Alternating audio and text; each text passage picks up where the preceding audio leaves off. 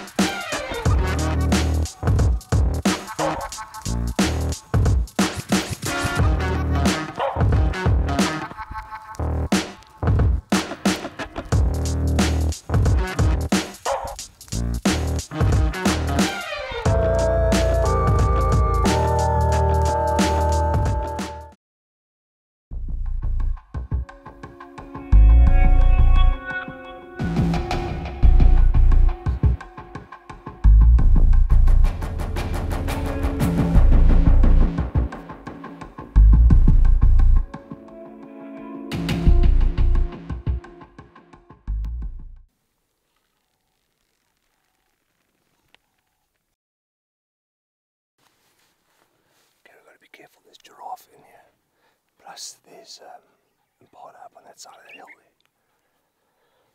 Let's try not to kick any rocks.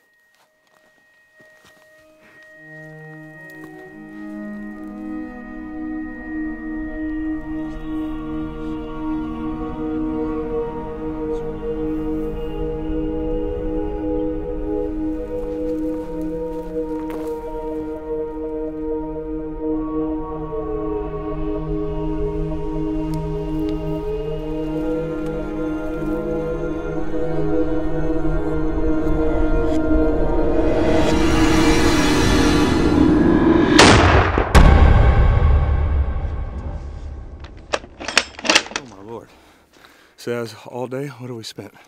Six hours stalking this herd up these freaking mountains. I mean, this is this was legit hunting.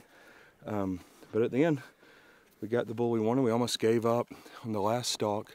We didn't get busted, but they turned, and we took off after them and made a new plan and got within 50, 60 yards. So 16 inch 8.6, 160 grain uh, TTSX.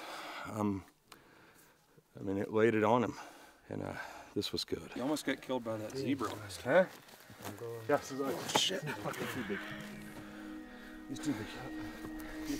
The Eland's one of the most, one of the hardest animals to hunt. They've got unbelievable hearing, eyesight. They just highly strung animals. It's not something you, you know, often an animal that's shot several hundred meters, you know.